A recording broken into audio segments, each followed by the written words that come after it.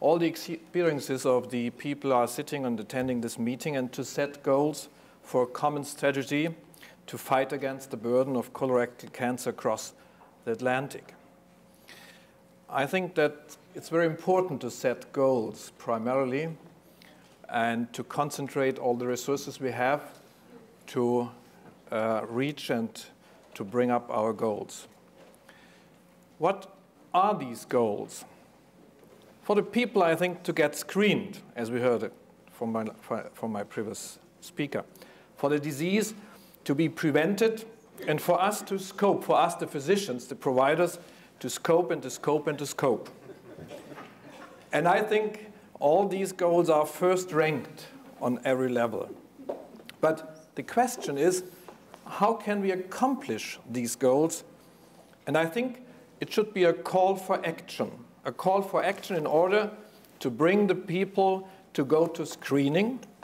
That's one of the goals of this meeting today. And for the disease to be eradicated and not to, to suffer people. And in order to provide efficient services in screening for colorectal cancer. But how can we be highly efficient? I think that's to provide the highest attainable standard of quality in screening colonoscopy. You heard these issues by the previous speaker in this morning. If I've been for a sabbatical in Harvard, Harvard School of Public Health in Boston, every morning if I have gone to class, I go to this wall and I see these letters written in this wall the highest attainable standard of health is one of the fundamental rights of every human being. And I think colonoscopy is one of these highly standardized, healthcare services we have. In the past, we have learned a lot of quality assurance in medicine from our pioneers in quality management in healthcare, like Ernest Codman, and the Avedis Donabedian. Codman was the father of the outcome quality research. As a surgeon, he was not well known from his society for this. And the Avedis Donabedian, the father of the paradigm of the elements of quality in healthcare, structure, process, and outcome quality. For a long time, colonoscopy was regarded as the undoubtedly accepted gold standard for the exploration of the colon. Recently, some study results called the colonoscopy in question as a gold standard, as you see here from the headline of the New York Times some years ago. The answer followed immediately by David Lieberman. He called to action for measuring the quality of colonoscopy, as he pointed out in his presentation. And it's very crucial to measure the quality of the endoscopy as a technical procedure and the endoscopist as well. Quality management has substantial influences on our daily procedure doing.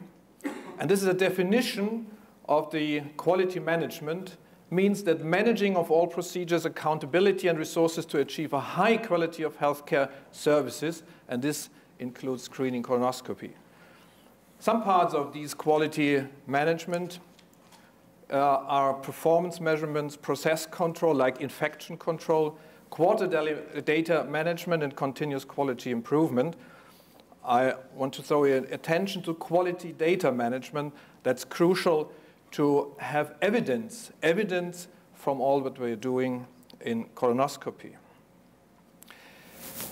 If you are looking at the elements of healthcare quality, we have to consider the dimensions of structure, process, and outcome quality. Besides others, for colonoscopy, these are technical pers personal equipment, competency and maintenance of a competency, hygiene and reporting and documentation, and for process quality, completeness, it's a very important factor, preparation and visibility and withdrawal time, which we learned it's very important for the de detection rates of adenoma and the precursor, pre-malignant precursor of the colorectal cancer.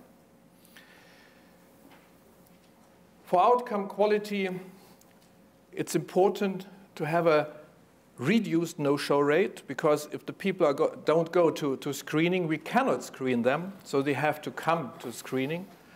And we have to consider adenoma detection rates. As you have seen, that's an international, very good comparable rate of adenoma detections. The UICC stages, the complication rate, the patient satisfaction, I think that's important too because uh, people are going to screening are healthy people. And if they consider to go to a screen, they, they have to be satisfied by the procedure they have undergone. And continuous quality improvement and feedback is important as well. The effects of quality assurance are really depicted here. Quality assurance creates confidence, and confidence creates acceptance. So if we are succeeding in having a functional quality assurance, we can create more acceptance by creating confidence. Um, some of our own studies that we have done in last year in Bavaria, and sh I show you here uh, a poster which was, which was presented in the DDW 2004. this study shows us that uh, in the first study done 2002, we checked the contamination rate of endoscopes after they had been disinfected. And you can see that these endoscopes has contamination rates roughly of about 75%. That's a highly contamination rate after disinfection procedures. And the second study was uh, conducted after implementation of a mandatory hygiene control system in Bavaria at the ambulatory level. And you can see that the contamination rate drops dramatically to 6 to 5 percent. This shows that quality assurance or quality control is effectively.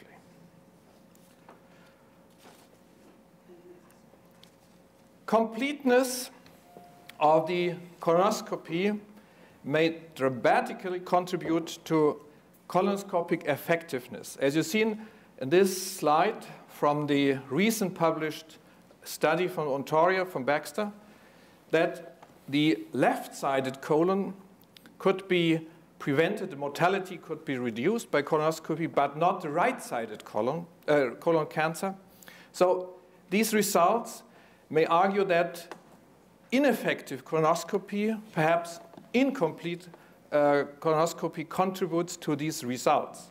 So completeness is very crucial. Completeness has some factors which influences these uh, uh, efforts to complete a colonoscopy. One is experience. Some data shows that experience more than nine years is very helpful to have a constantly highly rate of completeness. The procedure volume, which is still in discussion, is it 200, is it 500 years a, uh, a year? The clean colon is very, very important. So we are discussing about the, the preparation uh, programs to have a highly effective preparation with clear visible colons. The setting is important, academic versus hospital or office. The academic centers have higher completeness rates than the office-based. And the specialty. Gastrologists are more successful in completing colonoscopies than surgeons or primary physicians. Here I show you some of our, our results, which has, we have presented at the Journal uh, uh, two years ago. It's a little bit complicated. You say, you see the dotted lines are the um, predicted completenesses, and the, uh, the, full, the filled lines are the observed completeness. And you see like between the circles and the, the, the rectangles, there's no difference between male and female, but it's difference between the clean colon and the dirty colon, and it's a difference between the ages more than 60 and the ages beyond 20. So age and the, the preparation quality have a very high influence on completeness of the colonoscopy. In Germany, we have since 2002, introduced a quality pro, a program, screening program by colonoscopy. And with the program of, uh, for screening colonoscopy, we have introduced a quality assurance program. This quality assurance is uh, done by licensure for performing screening. The providers who want to uh, perform colonoscopy had to be board licensed. They had to uh, certified by more than 200 total colonoscopy in the previous two years. And it, would be, it will be checked what the technical equipment in, in these offices is. And it's a mandatory photo documentation of the total colonoscopy and the quality of preparations by the documentation of three indicators. And it's a mandatory online reporting system for all the results of the screening colonoscopy. And in Bavaria, we have an online re reporting documentation system for the uh, uh, diagnostic colonoscopies as well. So we have in Bavaria the possibility to document all colonoscopies which have been done uh, in the last two years. And it's a benchmark provided because the people who get their online documentation, they will be examined by a sample of 20 patients which were chosen by the authority. And by these photo documentation of these patients, we will check whether they had approved the, the total completeness examination of the colonoscopy. If they failed, if they had more than 10% not proving the total, the completeness, they should be undergo an another examination and this and when this fails twice, they, they uh, license for, uh, for performing colonoscopy will be withdrawn. So quality assurance support safety. And safety is a very crucial point for the confidence and effectiveness of colonoscopy because if you have a safe procedure, you can avoid adverse events, and the problem of adverse events for healthy people is very, very important. So from the data we have uh, in, in the sample of the national sample of our registry for the screening colonoscopy, we have seen that the complication rates are constantly low over the la last five years. And you see here all the types of complication which can occur uh, in colonoscopy. The most, the, the, uh, most often complications are natural ble uh, bleeding and bleeding after polypectomy. It's seldom to have perforation, but they still, they still happen. And the cardiopulmonary resuscitation or problems with, with the uh, sedation are still a problem we have. So we have a recommendation that uh, if colonoscopy is done under sedation, you have to have a second physician who can control the sedation procedure. A very important factor for quality assurance is benchmarking, benchmarking by feedback. And in, in Bavaria, we have an electronically uh, system who gave us every three months a feedback on different quality indicators. And you see here a sample. That's a sample of three indicators. Uh, the, uh, the, in, in, the, in the upper part are the, the rate of the patients with a hereditary or familial risk. The second is the completeness. And the last one is the complication rate. And yes, you see, the, the yellow bars represent the total rate of Bavaria, the statewide uh, complication rate, uh, for example, and the blue one represents my own practice. So I show you my own data here. Um, that's transparency. Quality assurance refers to transparency. And you see, you can see after three months where your own quality level li lies and where you have to be and become better than the average. So let me conclude. Quality assurance of colonoscopy results in highly efficient performance with increasing confidence, with increasing acceptance, with increasing completeness of colonoscopy and increasing effectiveness through decreasing mortality. And with increasing safety. German experience shows a functioning quality assurance of screening colonoscopy which achieve and maintain a high quality performance. Feedback reporting, I think, is crucial that people who performing these procedure can have a benchmark for their own quality.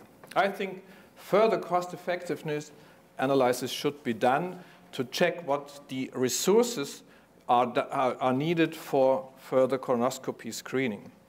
Thank you for your attention. And the last slide show you our Patrona Bavaria, which overlooks the Wiesn. And uh, the Wiesn is the place where the Oktoberfest takes place every year. So perhaps we will see next time to Oktoberfest in Munich. Thank you.